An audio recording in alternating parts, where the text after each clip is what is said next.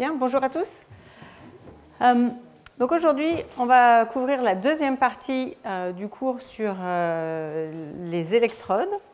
La semaine passée, je vous ai présenté comment on pouvait modéliser de manière électrochimique l'électrode, donc l'interface entre l'électrode et le, le, tissu neuronal. On a vu comment on pouvait utiliser cette électrode pour mesurer l'information. Aujourd'hui, on va regarder comment on peut utiliser cette électrode pour stimuler l'activité neuronale, donc moduler son activité. Et on va s'intéresser surtout à qu'est-ce qu'il faut contrôler, qu'est-ce qu'on peut contrôler quand on fait le design de ces électrodes euh, pour avoir une électrode qui va être la plus sélective et la plus efficace possible au niveau de, sa, fonction. Donc, on va encore pas mal parler du modèle, on va encore pas mal parler des propriétés de, l'interface, des propriétés électrochimiques de, l'interface. Donc on va, on va avoir trois parties dans le cours aujourd'hui. La première, on va essayer de voir comment on peut utiliser une, électrode placée à l'extérieur du neurone pour générer un potentiel d'action. Comment on va utiliser cette... Euh, qu'est-ce qui se passe au, niveau de, la cellule Ensuite, on va regarder un petit peu quels sont les matériaux qu'on utilise en général pour, utiliser les, pour fabriquer ces électrodes de stimulation. Et on va passer surtout le, cœur du cours sur les techniques de caractérisation donc comment est-ce qu'on comprend ce qui se passe dans l'électrode et comment euh, on peut en fait régler certains paramètres pour permettre une stimulation efficace? Et enfin, je finirai sur une partie qui est sur la modélisation. Euh, voilà. Euh, et la troisième partie sera sur une caractérisation qu'on va appeler multimodale, qui va nous permettre en fait de de, détecter plusieurs fonctions, plusieurs paramètres en fait de cette électrode qui va, pour essayer d'être le plus proche possible, de, simuler de manière le plus proche possible euh, son comportement dans, dans, le, milieu euh, euh, vivant. Donc petit rappel, ça on l'a déjà vu dans le, tout premier cours, donc on va, la cellule qui nous intéresse c'est le neurone et une des, des, fonctions donc, du neurone c'est de transférer de l'information d'avoir une partie de donc le corps cellulaire reçoit de l'information d'autres neurones ou d'autres cellules, va processer cette information et ensuite va transmettre cette information le long de son axone vers vers les terminaux euh, euh, présynaptiques donc euh, de cette cellule et donc faire un relais vers la cellule suivante. Donc en fait, il y a un signal ionique, on a vu, qui, qui, qui, permet en fait de, porter cette information et donc un courant ionique qui va se déplacer euh, à l'intérieur du corps, du, corps de, l'axone. Donc si maintenant on zoome un petit peu sur, euh, sur, cette, sur cette membrane et on regarde ce qui se passe si on veut stimuler. Donc ici c'est une, vue très très schématique donc de l'axone, donc euh, en gris clair on a l'axone. Cette membrane, on a vu pour permettre la, formation des, potentiels d'action, elle a des canaux des canaux ioniques qui permettent le transfert de certains euh, euh, ions depuis l'intérieur de l'axone vers le milieu extracellulaire et vice-versa. Et ensuite, on a vu que pour une, certaine partie des, neurones, en particulier les neurones qui doivent euh, transporter l'information le plus rapidement possible, donc typiquement les neurones moteurs, on a autour de l'axone des cellules spécialisées qui vont former la myéline, qui, qui, qui là, dans notre contexte, on va s'intéresser, on va dire que ce sont des cellules qui permettent d'isoler l'axone au niveau des échanges ioniques avec euh, le milieu extracellulaire. Donc en fait, il n'y a que dans ces portions ici, entre ces, zones de myéline, où on va pouvoir avoir un échange ionique. Donc c'est là où on va pouvoir intervenir si on veut générer un potentiel d'action. Il faut qu'on arrive à, faire quelque chose pour, inciter en fait ce transfert d'ion au niveau de, cette zone. Cette zone s'appelle le nœud de Ranvier. Et en niveau des dimensions, elle fait de 1 à 2 micromètres. Donc c'est une, toute petite zone qui se réplique tout du long de, l'axone. Ensuite, deuxième point euh, que nous avons vu lors du premier cours, c'est que lorsque, euh, avec l'architecture en fait des membranes, de la membrane des, axones, en fait, on a l'apparition d'un potentiel à travers la, membrane qui s'appelle donc le, le, potentiel de membrane VM et qui existe parce qu'il y a une différence entre le potentiel à l'intérieur de l'axone et le potentiel qui est à l'extérieur, donc dans le milieu extracellulaire. Et on a vu que ça, c'était en particulier, en, particulier lié au fait que les concentrations des ions potassium et sodium ne sont pas les mêmes de part et d'autre de la membrane. Donc, on, a toujours à travers la membrane ce potentiel de moins 65 millivolts en gros pour, la plupart des neurones. On ne peut pas euh, quand on fait des implants, quand on travaille euh, donc, euh, sur des technologies implantables, on ne va pas pouvoir venir moduler ce qui se passe à l'intérieur de la cellule. Parce que les, dimensions sont telles ici que ça serait très difficile de venir interférer avec l'intérieur de la, cellule. Donc tout ce qui nous reste, c'est accéder à la cellule dans le milieu extracellulaire, mais de la, manière, la plus proche possible. Donc, ce qui veut dire que lorsqu'on va vouloir faire de la stimulation électrique, en général, on va apporter une électrode d'une forme et d'une taille euh, particulière. Euh, ici, j'ai représenté une, électrode plutôt ponctuelle.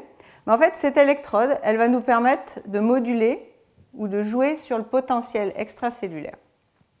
Le potentiel extracellulaire qui va être le plus proche d'un des nœuds de Ranvier.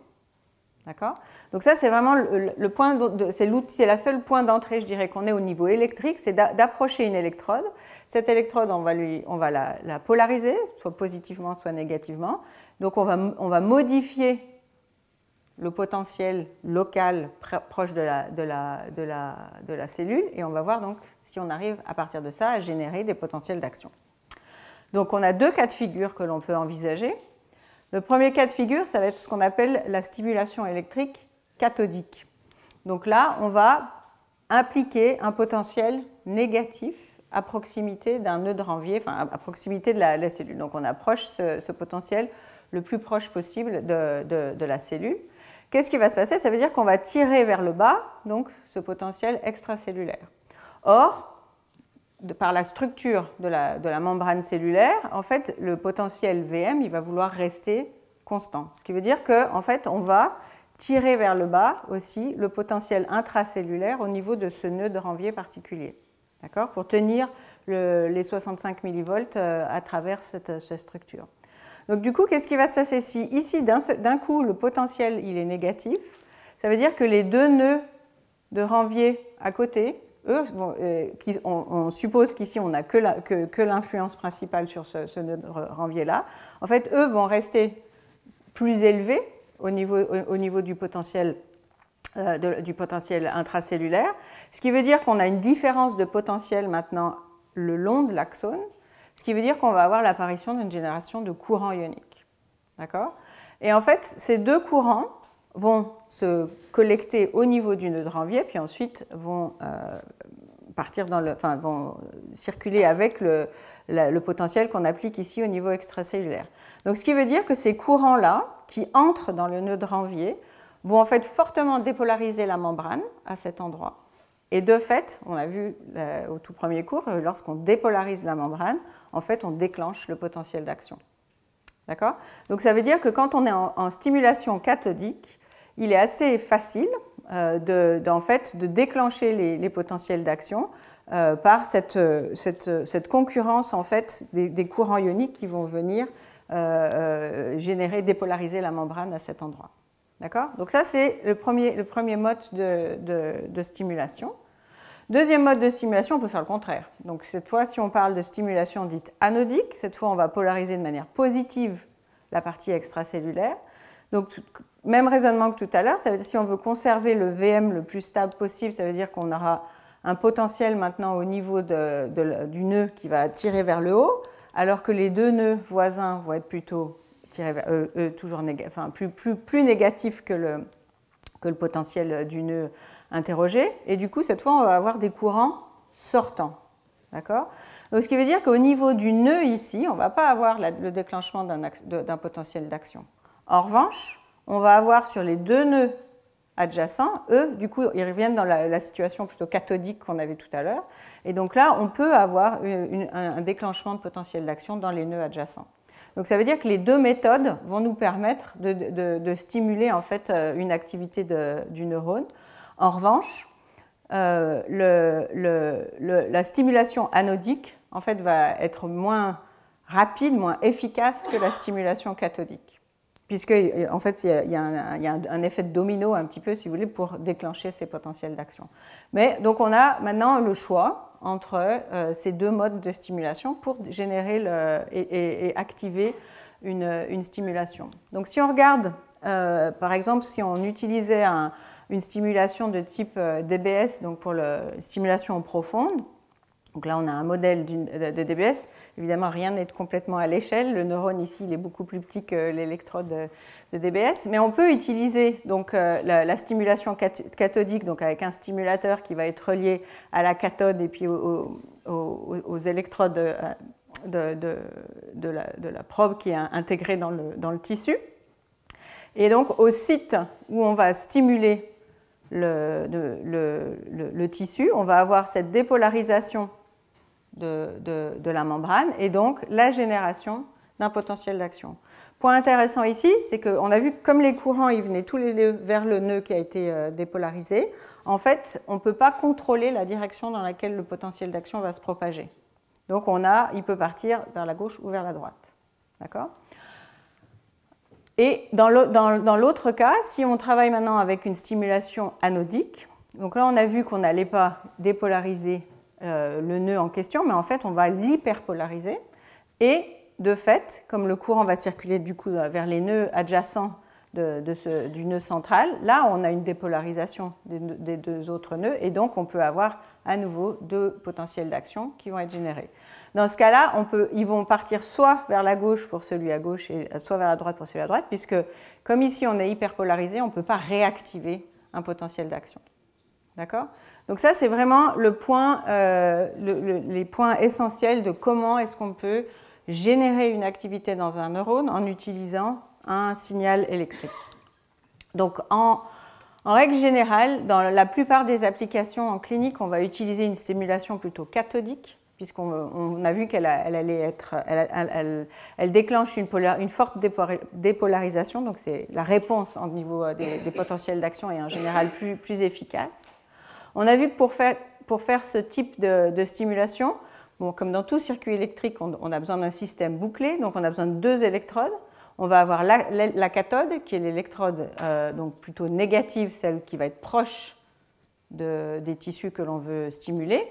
Et ensuite, on a l'anode qui, elle, va, plutôt, compléter le, circuit électrique.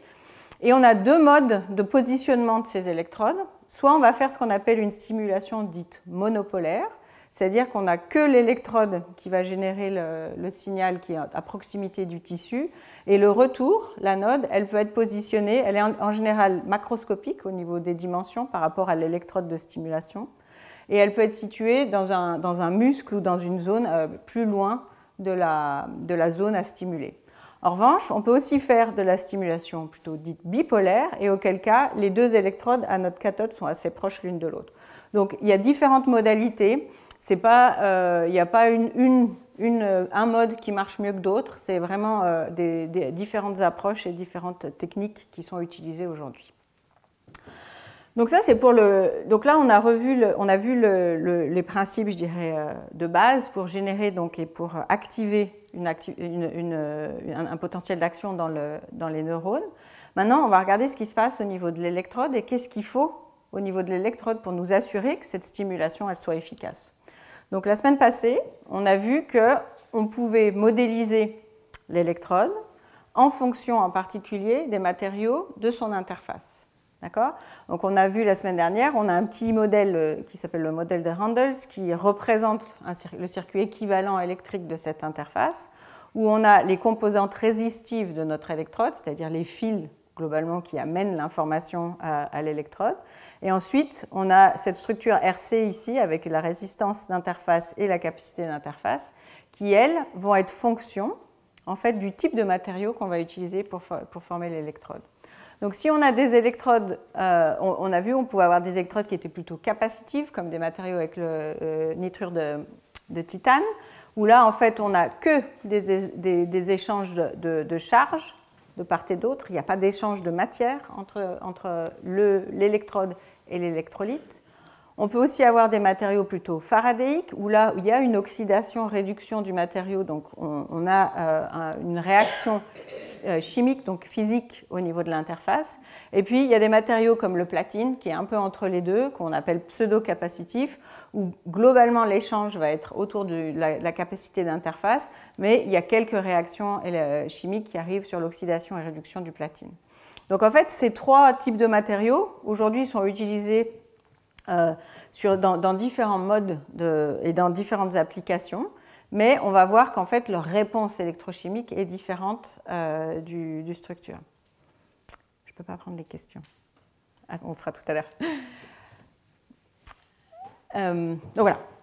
Donc maintenant, l'autre point important à garder en tête, c'est que quand on va vouloir stimuler, donc on applique un champ électrique ou un courant électrique dans le milieu extracellulaire, on est dans un environnement ionique et qui, est, a beaucoup d'eau dans, dans, la structure. Donc un point à prendre en compte maintenant quand on va stimuler dans le système extracellulaire, c'est qu'on veut s'assurer qu'on n'est jamais dans un cas où on va faire une électrolyse de l'eau. Donc l'électrolyse de l'eau, c'est une, une, fenêtre en fait électrochimique dans laquelle, donc quand on va faire les expériences, on va vouloir toujours rester dans cette fenêtre électrochimique qui nous assure que l'eau reste eau, en gros. Qu'on n'a pas euh, une oxydation qui nous générerait de l'oxygène ou une réduction qui générerait de l'hydrogène. D'accord? Donc, en fonction du pH dans lequel on se situe, cette, euh, gamme en fait, de, potentiel euh, va, va, varier, mais l'écart entre les, réactions oxydation-réduction reste, reste le même et il est égal à peu près à 1,2 volts. D'accord? Donc ça, en fonction de, de, l'acidité ou du pH de, la solution. Donc là, le graphe qui vous est donné, qui, vous est donné aussi, c'est les potentiels qui sont indiqués ici sont référencés par une, électrode de référence qui est ici dans ce cas-là à base d'hydrogène. Donc nous, dans le cas euh, d'un milieu extracellulaire, en fait, on se situe au niveau d'un pH qui est autour de 7, 7,2. Donc du coup, ça va nous donner à partir de cette euh, figure quels sont les potentiels dans lesquels notre interface, la polarisation de notre interface va devoir euh, rester pour qu'on n'aille pas dans l'hydrolyse de l'eau. Donc ça veut dire que pour la partie cathodique, on devra avoir un, potentiel de, euh, polarisation qui ne doit pas aller en dessous du moins 0,6 volts et au niveau anodique, pas au-dessus de 0,8 volts. Donc ça, c'est important parce que c'est des paramètres qu'on va devoir comparer quand on va faire les caractérisations de, notre, interface. Donc maintenant, comment est-ce qu'on sait ce qui se passe exactement au niveau électrochimique euh, à, la, surface de, nos électrodes? Donc on a plusieurs techniques à disposition. Euh, la première, c'est la voltammétrie cyclique, souvent vous pouvez voir aussi comme référencée comme la méthode CV.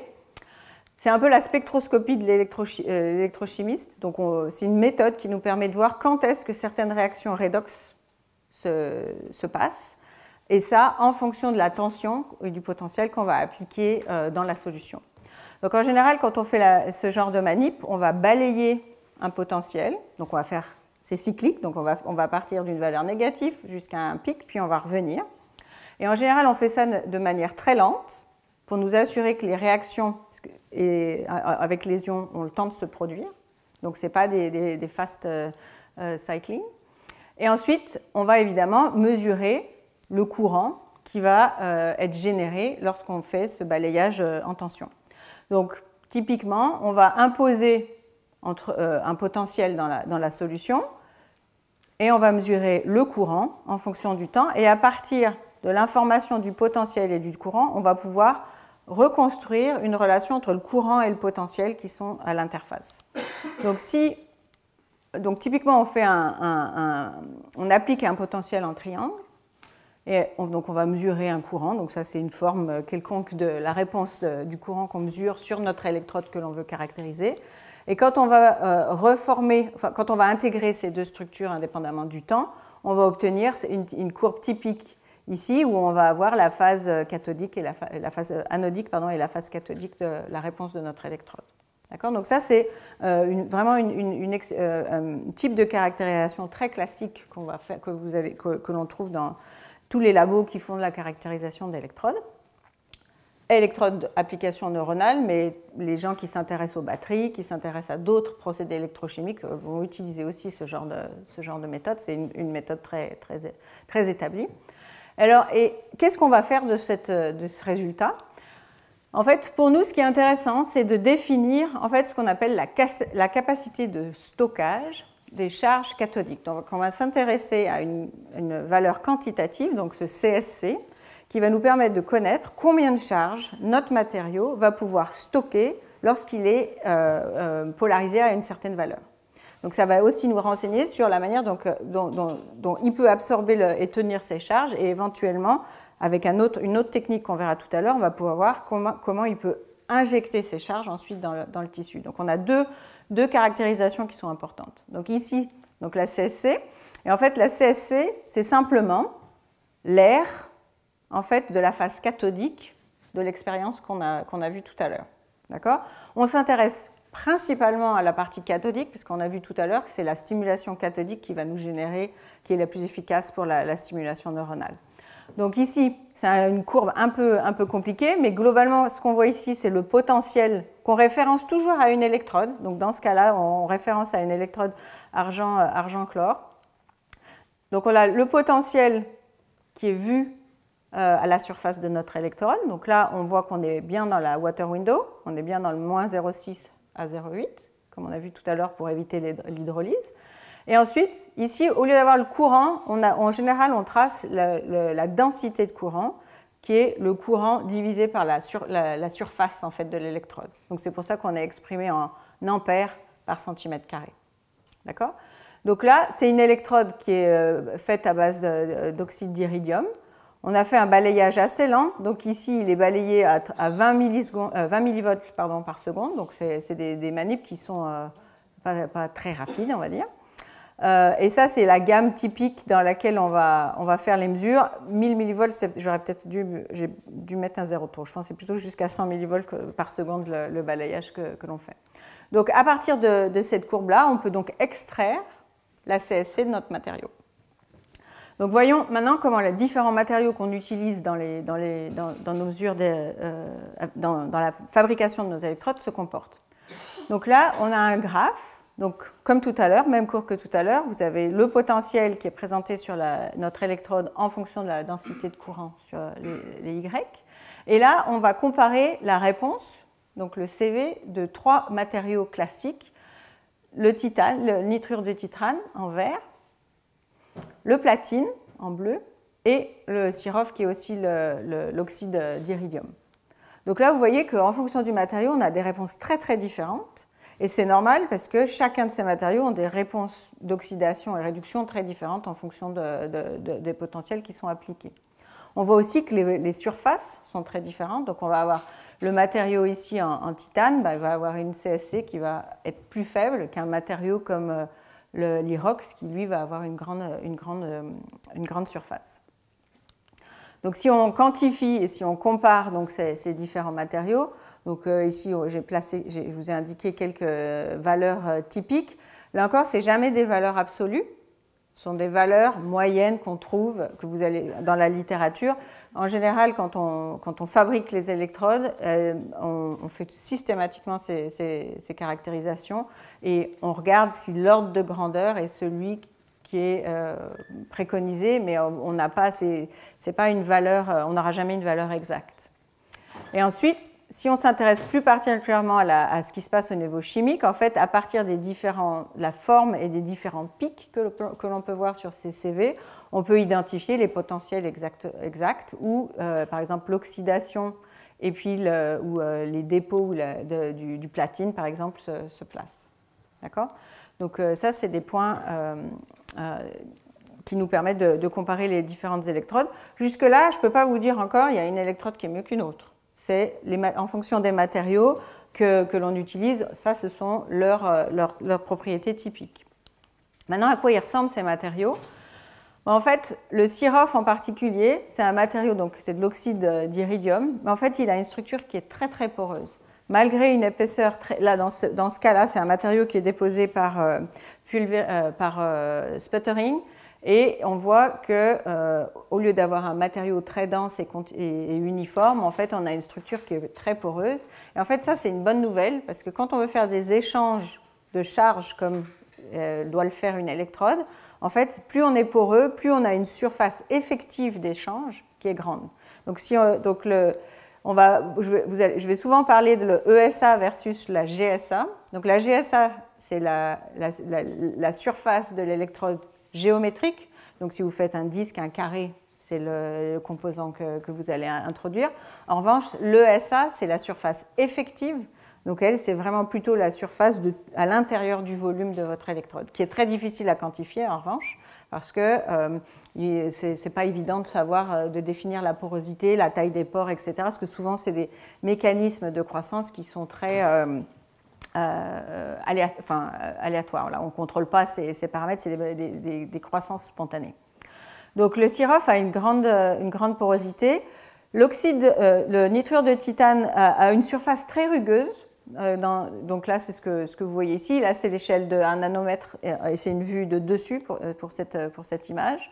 Et puis, le platine, souvent, on, fait, euh, on structure aussi un peu le platine. Ici, on appelle ça le platine gris, en contraste avec le platine normal et le platine noir, qui en fait sont des, formes du platine où on, fait un procédé chimique exprès pour en fait former des pores dans, le matériau. Donc en fait, c'est des techniques qui nous permettent d'augmenter la surface effective, donc l'ESA de nos, de nos, matériaux. Donc en fait, si on revient sur la courbe d'avant, ici le, platine, dans ce cas-là, il est, lisse, mais si on le, rend plus poreux, par exemple dans le cas du platinum gray, on aurait une, CSC qui serait plus grande que ce qu'on ce voit ici.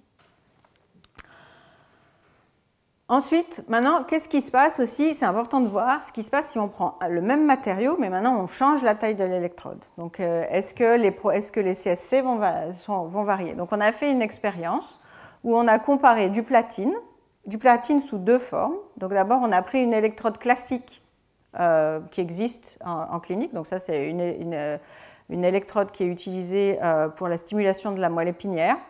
Euh, produites par Medtronic. Et puis là, c'est des grosses électrodes, donc les électrodes qui sont de l'ordre du, millimètre carré. Et donc on a, on fait notre CV. Et là, on s'aperçoit qu'on a une électrode qui donne une CSC de l'ordre de 0,7 millicoulomb. Maintenant, au labo, on a fait nos électrodes et en utilisant aussi du platine, mais cette fois, au lieu d'utiliser du platine lisse, continue comme à utiliser dans les, dans les implants cliniques. Nous, on fait des composites. Donc, en fait, on mélange des particules de platine avec euh, un élastomère. Donc là, le PDMS, c'est la silicone, donc c'est comme une gomme, si vous voulez. Et quand on fabrique ce composite, en fait, on a une structure qui est très poreuse. Donc du coup, on a fabriqué des électrodes, donc avec des dimensions ici macroscopiques, alors pas tout à fait aussi grosses que celles de la clinique, euh, mais quand même macroscopique. Et puis on a fait aussi les mêmes, des électrodes avec le même composite, mais à l'échelle microscopique. Et ensuite, on a regardé leur, euh, leur, CV afin de déterminer leur, CSC. Et là, on voit que, euh, en fait, indépendamment de la taille géométrique, ici, c'est vraiment la porosité du matériau qui va euh, jouer sur la qualité de la CSC, en fait, parce qu'on a un matériau beaucoup plus poreux ici, donc notre CSC va être plus grande. En revanche, ici, l'impact géométrique de l'électrode est bien moindre euh, une fois qu'on utilise le même, matériau. Donc il faut vraiment prendre en compte ces différents matériels, ces différents euh, paramètres qui sont la géométrie et la porosité du coating que vous utilisez pour faire votre, votre électrode. Donc voilà, donc ça c'est premier point de caractérisation. On peut utiliser euh, donc cette capacité de stockage des charges euh, électriques.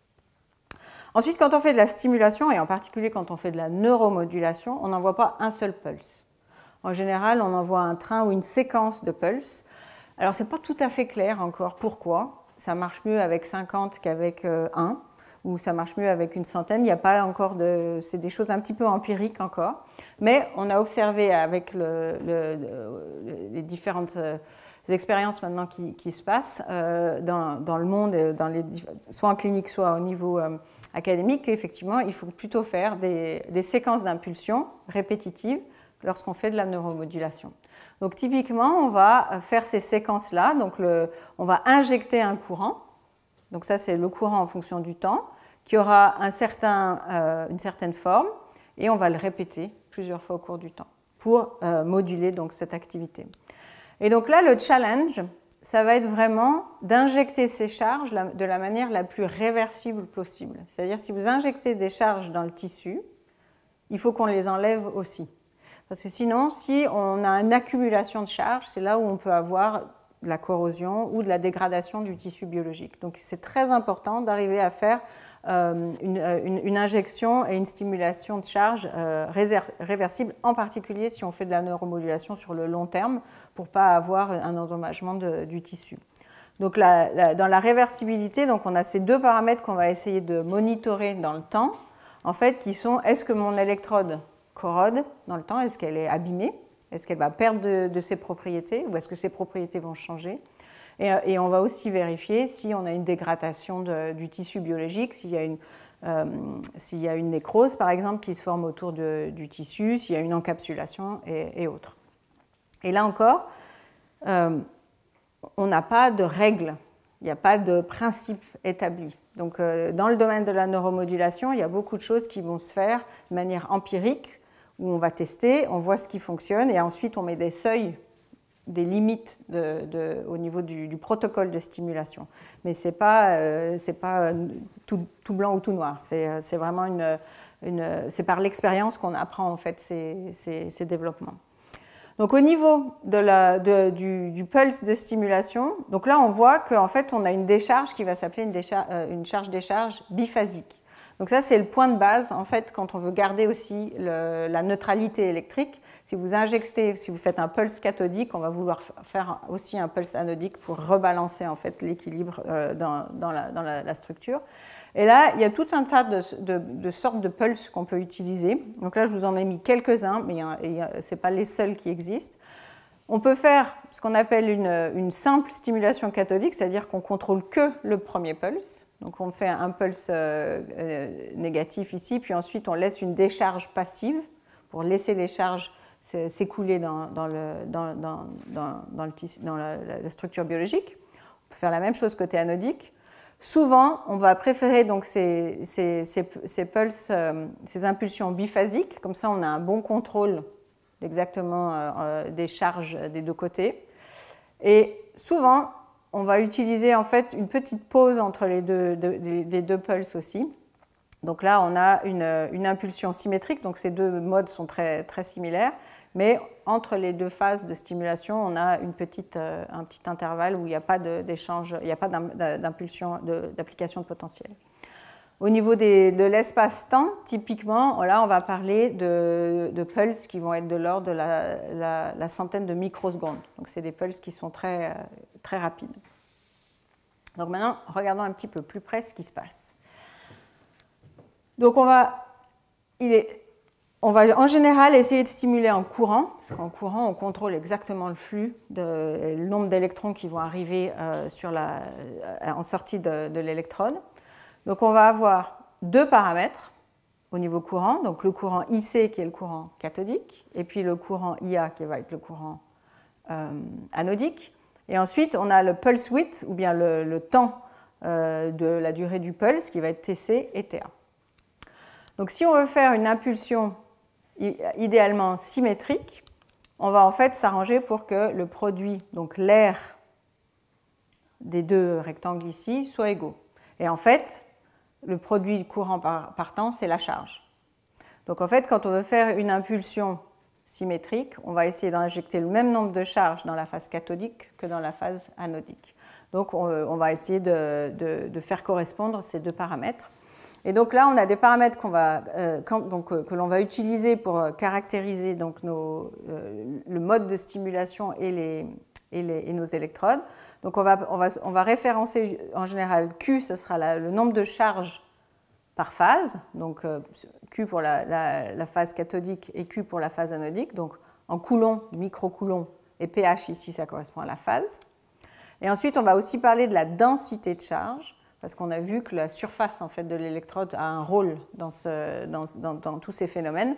Donc souvent, on va aussi calculer le ratio entre la charge et le GSA, donc la, la surface de, notre électrode. Donc maintenant, tout à l'heure, on a vu l'outil euh, de la voltamétrie cyclique. Maintenant, pour essayer de quantifier ce qui se passe dans notre électrode, on a un deuxième... Ah, que se passe-t-il? Donc on a un deuxième outil qui euh, est euh, à notre disposition pour caractériser ce qui se passe au niveau de ces interfaces. Ça va être ce qu'on appelle l'étude des réponses dans le temps. donc on va regarder l'évolution des potentiels à la surface de notre électrode en fonction de ce pulse. Donc là, on va avoir un, un, bâti euh, expérimental où on va avoir l'électrode que l'on veut caractériser, qui va être en général, on fait ça dans une solution saline qui ressemble euh, au milieu extracellulaire. Et ensuite, on a une électrode de référence et une électrode contre. Euh, exactement le même montage qu'on a vu la semaine dernière pour mesurer l'impédance de, nos électrodes. Donc on va appliquer un pulse de courant et ensuite on va mesurer le potentiel qui est vu par notre électrode. Et voilà la courbe à quoi ressemble la courbe typique quand on envoie un pulse sur notre électrode? Donc vous voyez qu'on a, donc là les deux graphes sont, alignés en temps. Hein. Donc ici vous avez l'axe des temps. Donc on a le premier pulse cathodique, on a une phase où on ne stimule pas, et ensuite on a le deuxième pulse anodique.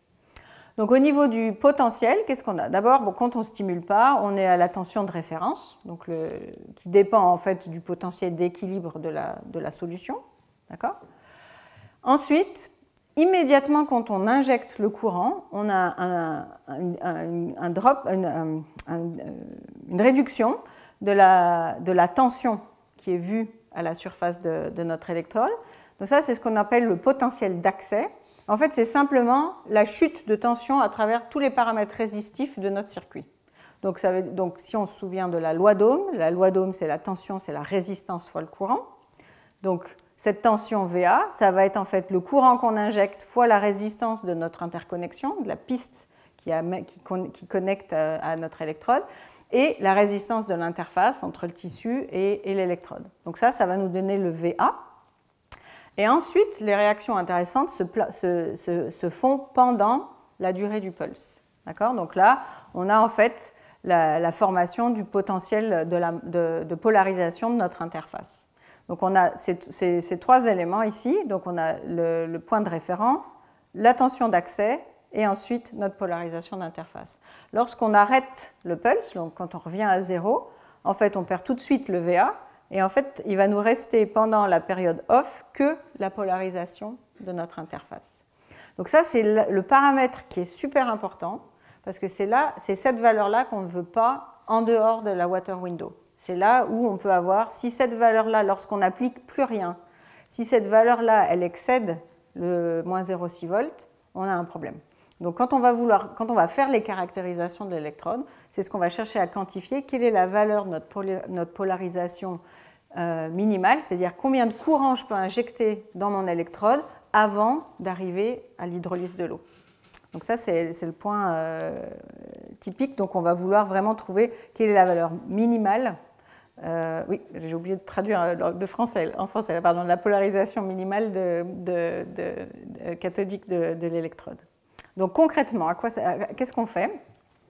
Donc ici, vous avez un graphe en temps en fonction du potentiel qu'on mesure euh, sur notre électrode. On a une électrode qui est là macroscopique, donc elle fait 2 par 0,7 mm. Et ensuite, on a testé tout plein d'électrodes, donc c'est pour ça que vous avez, euh, au lieu d'avoir une seule courbe, on a euh, plusieurs réponses en fait de, courbes euh, moyennées. Et lorsqu'on fait ce type de, manip, en fait, on le fait de manière incrémentale. Donc vous commencez d'abord par un petit courant. Donc là, on a injecté 1 mA, donc notre pulse de courant cathodique, on injecte 1 mA pendant 300, microsecondes. Ensuite, on fait le, le, stop et ensuite on refait le même pulse au niveau anodique. Donc on, fait le, 1, mA et ensuite, donc là c'est la zone zoomée, on va essayer de mesurer quel est le potentiel de polarisation de notre interface. Donc là, à 1 mA, on voit qu'on est en gros à 0, moins 0,1, moins 0,15. C'est bon, on n'a pas, atteint les, 0,6. Donc ensuite, pas à pas, on va augmenter le courant qu'on injecte dans l'électrode jusqu'à ce qu'on arrive en fait au, au niveau des moins 0,6. Donc là, on a fait jusqu'à 10, mA. Ici, on pouvait injecter on n'avait pas encore atteint euh, la valeur du, 0,6. En revanche, si on, atteint, si on, va au-delà, bah, c'est une condition qu'on ne voudra pas utiliser pour, nos électrodes in vivo. Donc ça, c'est vraiment... Euh, donc si je résume le, protocole qu'il faut qu'on mette en place quand on caractérise en fait nos, donc nos électrodes, c'est qu'on on, cherche à déterminer donc notre potentiel de polarisation cathodique et on va faire par itération, euh, on calcule la charge qu'on va injecter, donc le, IC fois IT. On va calculer le CIC, donc la capacité d'injection de charge injectée donc c'est la, charge divisée par la surface de notre électrode. Et on réitère pour trouver ce qu'on appelle le CIC limite, qui va correspondre au maximum de charge qu'on peut injecter dans notre électrode avant euh, qu'on aille au-delà de notre potentiel d'hydrolyse. Donc ça, on fait ça sur toutes, euh, toutes, nos, toutes nos électrodes. Donc là, j'avais prévu un tout petit exercice juste pour que vous ayez les, idées euh, euh, concrètes en fait d'une expérience. Donc là, c'est des graphes qu'on a obtenus sur une des électrodes qu'on a, a développées au labo. Donc là, on a une électrode qui a cette, euh, cette surface. On a stimulé avec des pulses de 300 microsecondes, donc ça c'est très, très très classique. Et puis là, on a les, différents courants.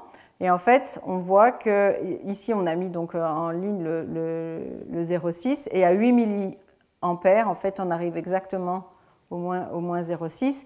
Et si on fait le calcul entre euh, donc le calcul de la charge équivalente des 8 mA sur le pulse de 300 millisecondes divisé par la surface en fait de, votre électrode, ici on va obtenir une, une CIC d'à peu près 170 euh, microcoulombs par centimètre carré.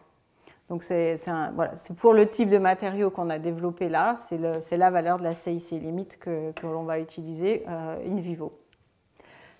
Une fois qu'on a déterminé la CIC limite, ça ne veut pas dire que notre modulation doit toujours travailler à la limite. Ça veut simplement dire qu'il ne faut pas excéder cette valeur de, courant pour, euh, pour, la stimulation.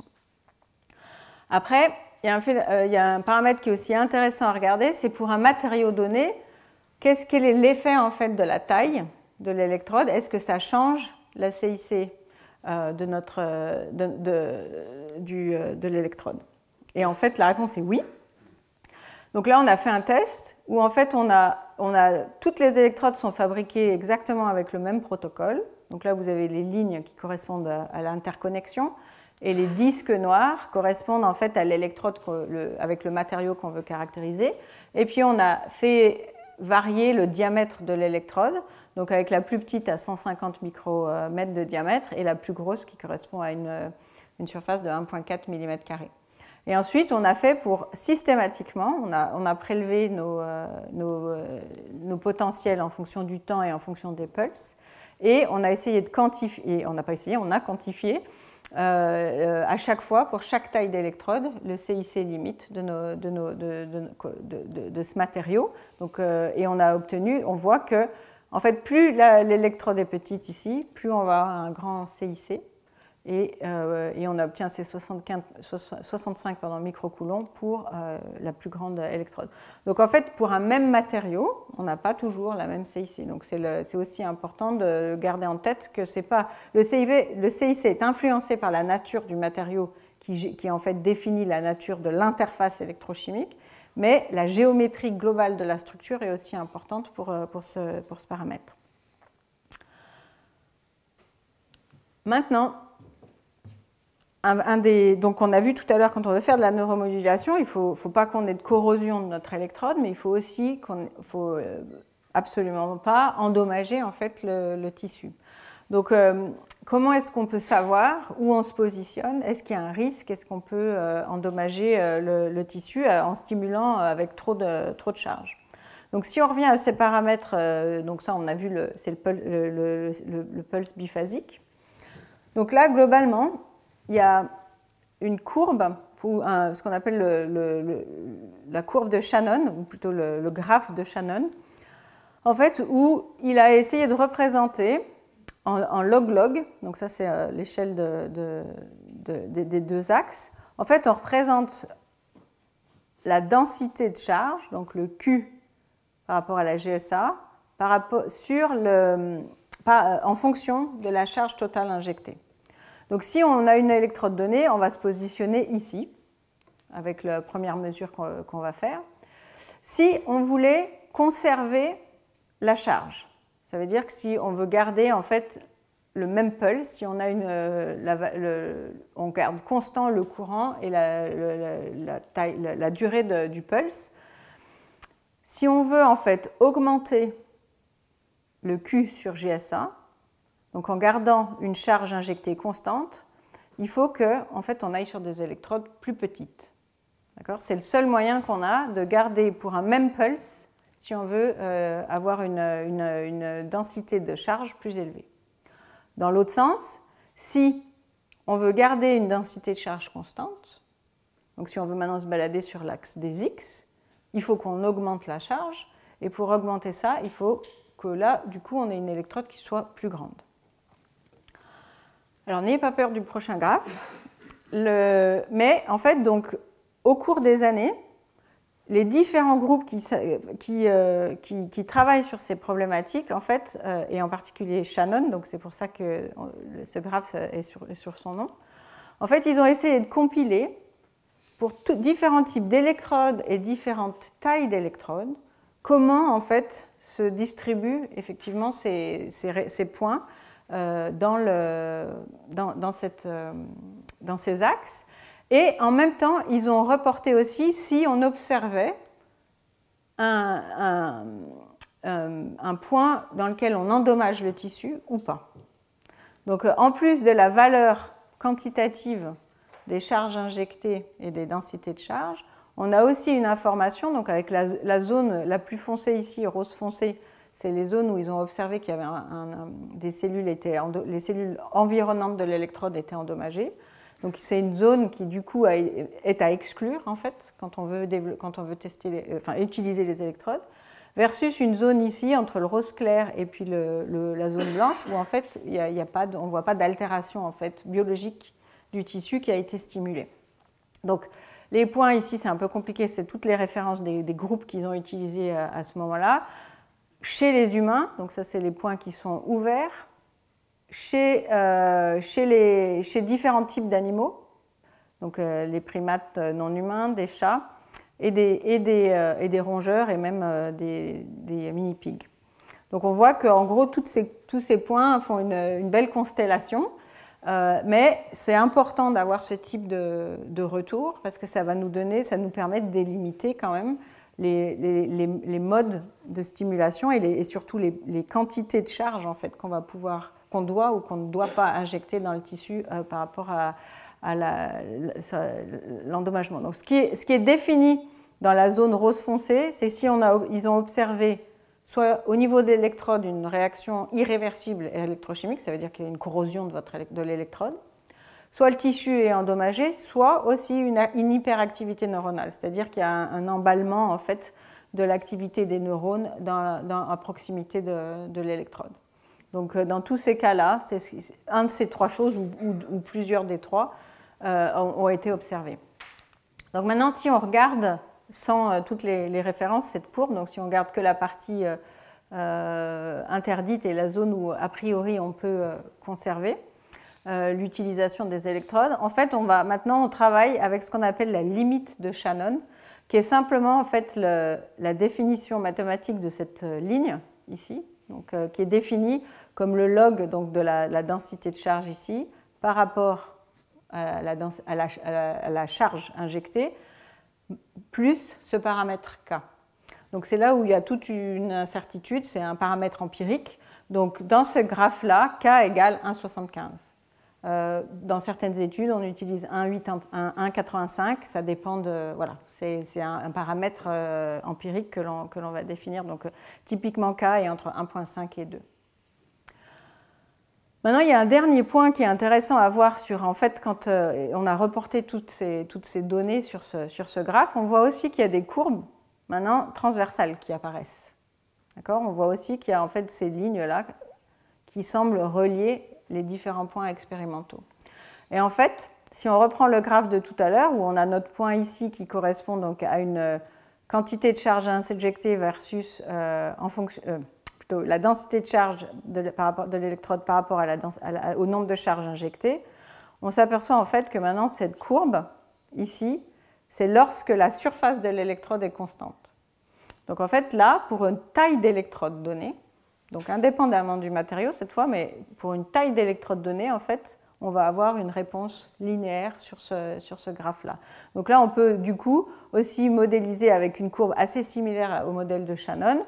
En gros, en fonction de la taille de l'électrode A, on peut, euh, relier en fait la densité et euh, la quantité de charge euh, injectée. Ensuite, ce qu'on a observé aussi avec ce, graphe-là, puis en utilisant les, principes qu'on a vus tout à l'heure sur, la, lecture en fait de ce graphe, c'est que finalement, si on voit les, si les courbes qui évoluent en fonction d'une taille d'électrode donnée vont vers le bas, en fait, c'est que la, taille d'électrode augmente, et puis si elles vont vers le haut, c'est qu'en fait la taille d'électrode réduit. Donc, ça permet aussi de, trouver comment les, électrodes vont se positionner. Donc en, réalité, est-ce que c'est vrai tout ça? Oui. Euh, donc en fait, les courbes qu'on a sur ce, graphe, en fait, euh, on, a, compilé en fait la valeur des électrodes qui a, été mentionnée dans tous les, papiers. Donc effectivement, tous les points noirs, ils correspondent à des électrodes qui font à peu près 0,6 cm. Donc c'est typiquement des électrodes qu'on va trouver en clinique, ces grosses électrodes-là. Ensuite, on a une autre famille de courbes qui est plutôt autour de, 0.014, donc c'est ce qu'on appelle les électrodes méso, donc qui ont des tailles. C'est en général pas des, électrodes qui sont euh, utilisées en, recherche euh, très en amont chez les rongeurs, c'est plutôt des électrodes que nous on va appeler les électrodes de recherche translationnelle, donc on utilise des modèles animaux qui sont plus, plus gros comme les primates ou les non-humains ou les, ou les mini-pigs. Euh, et ensuite, en vert, c'est les électrodes toutes petites euh, qui correspondent là à différentes électrodes euh, qui sont développées de, nos jours avec euh, une surface de, l'ordre de, quelques centaines de micromètres. Et enfin maintenant, donc à partir de, ce, donc, de ces analyses en fonction du, retour des, performances en fait, de, ces de, ces neuromodulations, il y a un autre paramètre qui est, important et qui là aussi a été défini à la base de manière empirique, mais qui reste maintenant un, paramètre euh, euh, important, en particulier quand on fait la stimulation en clinique. C'est en fait d'observer qu'on euh, on a une, charge maximale de 30 microcoulombs par centimètre carré. Donc en fait, cette valeur, elle, elle vient un peu d'une analyse en fait de, de, ce type de graphe où on voit que le limite de Shannon nous dit qu'il faut qu'on reste à, gauche de cette, diagonale.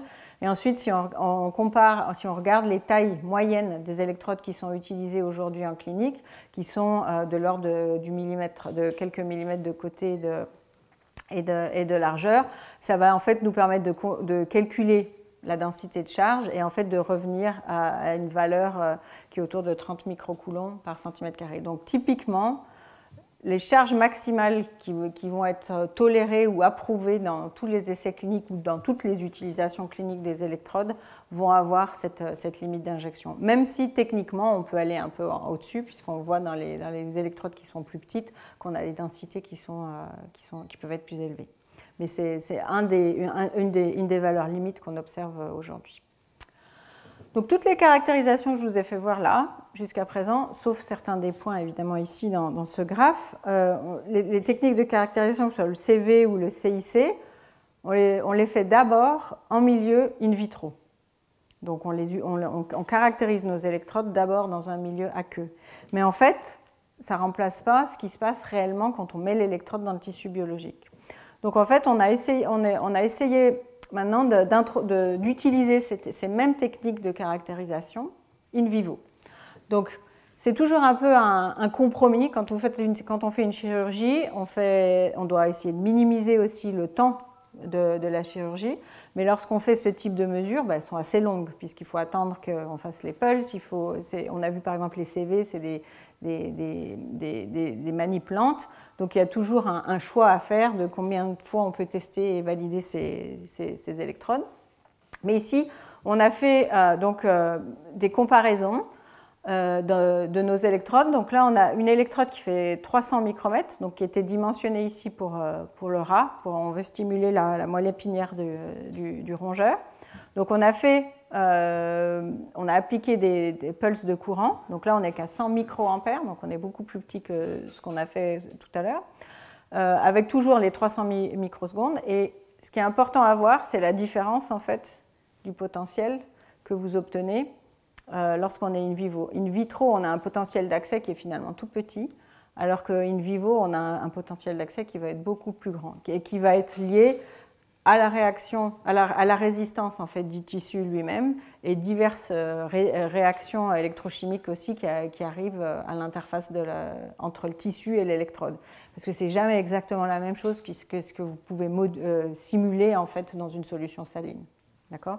Donc ça c'est important à voir parce que du coup les, valeurs de caractérisation vont de toute façon varier lorsque vous faites votre caractérisation in vivo. Ici, je n'ai pas mis les spectres d'impédance, mais on voit la même chose sur les impédances. Votre impédance, elle va forcément euh, augmenter lorsqu'on va la mettre euh, en contact avec le tissu, euh, le tissu biologique. Donc là, on a vu, ça c'est une observation chez le rongeur, même observation quand on fait ça chez le primate non humain. Donc on a aussi un, beaucoup, un, potentiel d'accès beaucoup plus grand et aussi un changement de la polarisation de l'électrode. Donc ça, c'est des choses à, prendre en compte lorsqu'on fait nos, nos. Donc en fait, quand on développe les électrodes, c'est vraiment euh, un processus très itératif. On développe, on fabrique, et ensuite on caractérise. Et on a une grande, une grande étape qui est au niveau de l'in vitro, bien sûr. Et une fois qu'on est satisfait en fait de la performance de notre électrode in vitro, on va passer seulement à ce moment-là à l'in vivo. Et pendant l'in vivo, en général, on teste d'abord en intraopératoire. Donc on, pose l'électrode, on fait le, test de notre électrode, on voit comment ça, elle réagit. Et puis selon si on est content ou pas content, on, la laisse ou pas. Une fois qu'on a atteint certains paramètres qui sont, euh, qui sont euh, l'utilisation de l'électrode est, est bonne, alors on laisse l'implant de manière chronique. Donc on fait des sessions qui sont plus long terme. Et ponctuellement, on va interroger l'implant au cours du temps pour prélever en fait toutes ces, caractéristiques d'électrodes. Donc à chaque fois, on essaie au maximum de faire toute la palette de, tests, mais on ne peut pas le faire en continu. Aujourd'hui, on n'a pas de méthode en fait qui nous permette d'avoir un système complètement implantable pour ce type de mesures électrochimiques. Donc on est obligé de faire des étapes où on fait une anesthésie et ensuite on fait ces mesures euh, au bloc. Euh, et donc, ces, périodes-là peuvent en fait durer très longtemps tout au long de l'utilisation de, l'électrode. Et enfin, on a toujours une dernière étape où on va faire. Donc, tout ça, c'est pour des expérimentations précliniques. Euh, et l'étape ultime, c'est de faire une explantation, de revérifier, si possible, comment performe l'électrode une fois qu'elle est explantée. Et ensuite, on fait une analyse du tissu biologique pour voir s'il y a des, des dommages particuliers. Donc là, c'est un exemple, par exemple, de courbe qu'on a obtenue au cours du temps. Donc là, c'est une électrode qu'on a placée sur la moelle épinière. Donc ça, c'est la, géométrie de, de l'électrode. Et là, c'est l'évolution des potentiels en fonction du temps, en fonction du temps pour chaque courbe, mais aussi en fonction du temps de l'expérience, donc entre 1 jusqu'à 45 jours. Donc là, à partir de ces courbes-là, on peut, calculer en fait les CIC et voir si les CIC sont stables ou si elles évoluent au cours du temps.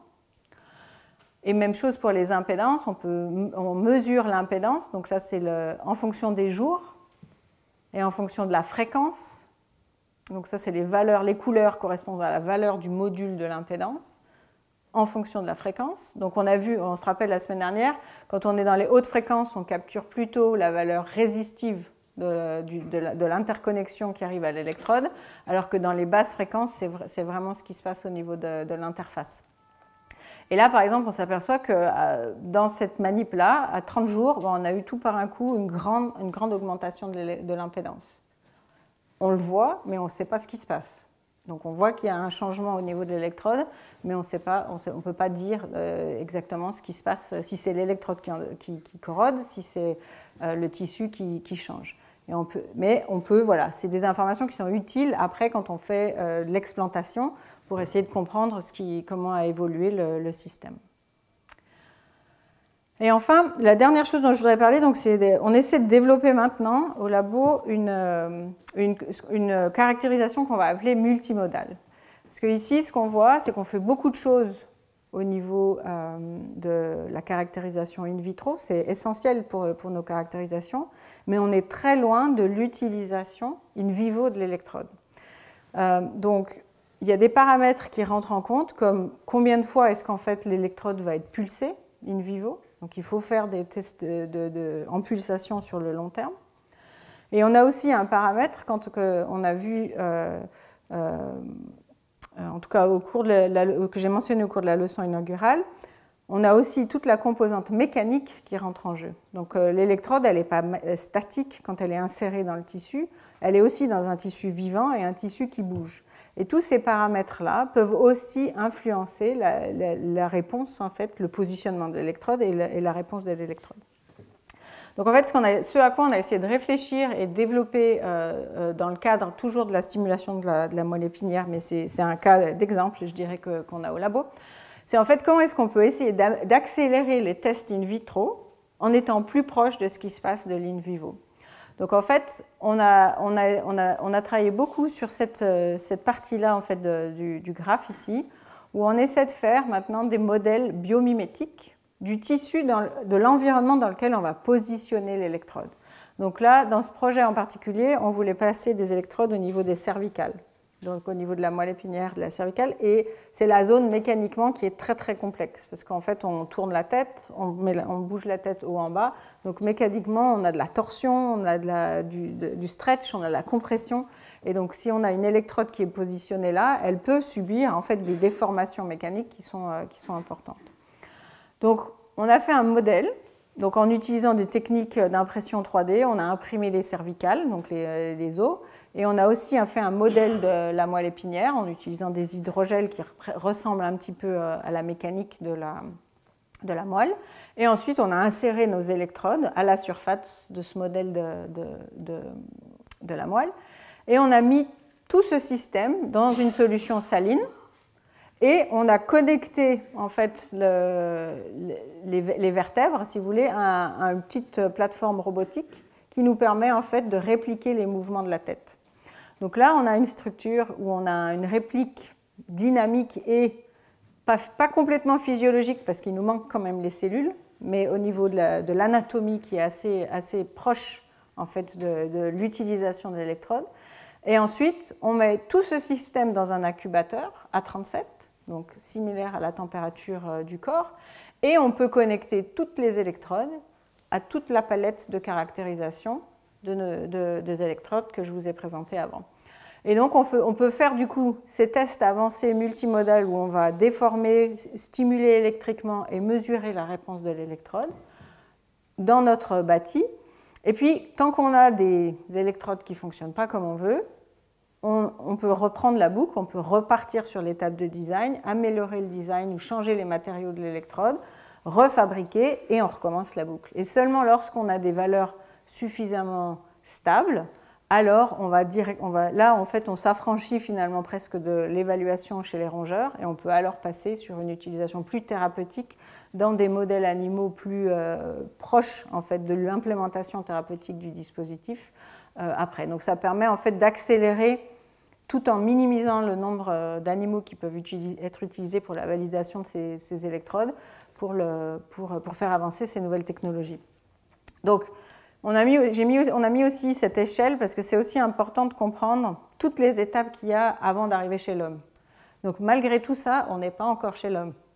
Donc c'est vraiment, euh, on fait beaucoup, beaucoup de laboratoires en recherche vont travailler à ce niveau-là. Donc l'innovation pure au niveau des matériaux, au niveau d'une preuve de concept sur euh, un niveau type de structure.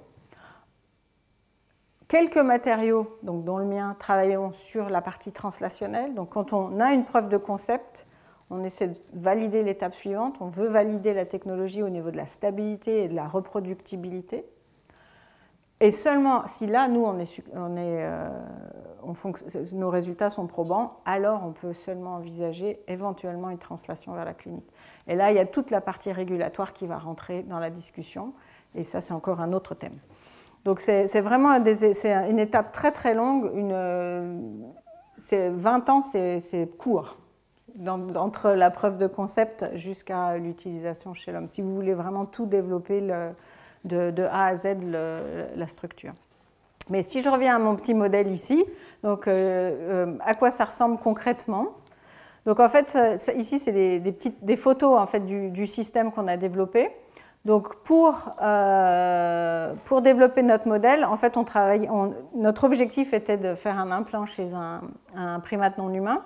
Donc en fait, on a fait des scans du modèle que l'on allait interfacer. Donc on a fait une reconstitution, une, reconstitution fidèle en fait, des vertèbres et de la structure de, l'animal. Donc on a imprimé en 3D donc, les vertèbres, on a fait le, modèle de, la moelle, on a designé notre implant qui doit venir stimuler la surface de, de la moelle. Et donc là, c'est une photo de, notre appareil lorsque, au repos et puis euh, lorsque les, les, vertèbres euh, bougent. Donc, qui correspondent en fait à. On a défini en fait les, les valeurs min et max du, euh, de, des, déplacements en fonction de, aussi des, des images qu'on avait obtenues pour les excursions de l'animal lorsqu'il levait la tête au minimum et au, maximum. Et ensuite, on a connecté des, des, notre source de courant pour stimuler les électrodes euh, et mesurer les impédances et les CIC, etc. Donc là, on a une petite vidéo qui, j'espère, va fonctionner, où on voit en fait en action le, système. Donc là, on est dans l'incubateur. Et en fait, on a donc ce, mouvement de balancier en fait, qui, représente l'excursion en fait, que les vertèbres vont avoir lors, de, lors des mouvements euh, normaux de, la structure. Sauf que donc on a l'implant qui est dans ce modèle, on est à 37 dans une solution saline. Alors, on a mis du bleu juste pour que ça fasse joli. A rien, le bleu n'a aucun, aucun rôle euh, physiologique ici. Euh, euh, donc, on réplique les mouvements cervicaux et après, on a aussi donc un vieillissement des électrodes au niveau mécanique et également un vieillissement des électrodes au niveau électrique parce qu'on stimule au niveau électrique pour reproduire en fait ce qu'on ferait si on devait utiliser de manière thérapeutique le dispositif. Et donc là, maintenant, on a accès à toute une palette en fait, de, caractérisation. Donc là, c'est par exemple notre, euh, toutes les électrodes qu'on a euh, dans le dispositif, où on va comparer des électrodes qui ont été stimulées à d'autres qui, sont dans le système mais qui, elles, ne sont pas stimulées. Donc on voit aussi un effet de la stimulation répétée par rapport à, une, exposition à la solution, mais pas euh, de stimulation active. Euh, et ici, c'est une courbe qui est un peu compliquée. Alors, je vais essayer de vous la, déchiffrer. Donc ici, on a reporté le module des électrodes à 1 kHz, donc une valeur de l'impédance de notre électrode, en fonction du nombre de cycles mécaniques qu'elle a subis. Donc euh, après la fabrication, quand on la met dans notre simulateur, et ensuite jusqu'à 1 million de cycles de torsion, comme euh, vous venez de voir dans le film. Ensuite, on a reporté le nombre d'électrodes fonctionnelles. Donc, euh, au total, on avait 16 euh, électrodes sur l'implant, puis on regarde euh, si on en perd en cours de route. Et ensuite, on avait trois technologies d'électrodes, donc le 35, 50 et puis le, 235. Et donc, chaque couleur représente des familles d'électrodes. Et donc, on voit par exemple que la courbe bleue, qui correspond à des électrodes qui, à ce moment-là, étaient fabriquées en or, et l'or faisait 50 nanomètres d'épaisseur. En fait, après 500 000 cycles, on avait perdu les deux tiers des électrodes. Donc on a, modifié la, fabrication de nos électrodes, et puis donc soit la, techno noire ou, rouge, on voit qu'on a des électrodes qui sont un peu plus robustes, qui vont jusqu'à 1 million, pas encore 100%, on n'est pas à 16 électrodes sur 16, mais grâce à ce mécanisme-là, en fait, on peut du coup anticiper les modes de, cassure en fait, de, l'électrode afin de revisiter le, design de ces électrodes avant en fait, finalement de les implanter. Donc ça, c'est un des, points euh, sur lesquels on travaille beaucoup maintenant pour essayer de, mieux simuler et mieux anticiper en fait, les réponses et le fonctionnement et la stabilité des électrodes sur le, long terme.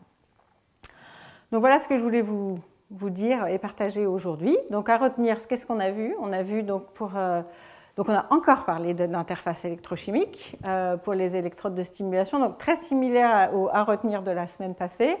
La géométrie de l'électrode est importante et le matériau qui est utilisé, donc les coatings ou le matériau même de l'électrode, euh, va en fait agir et, être la partie active en fait, de l'interface électrochimique. On a parlé de plusieurs techniques de caractérisation qui sont importantes pour ces électrodes de stimulation.